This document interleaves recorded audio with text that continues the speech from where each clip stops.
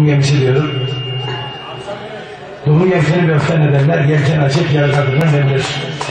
Kendi kadrini bilmeyen el kadrını zaten bilemez değil mi arkadaşlar?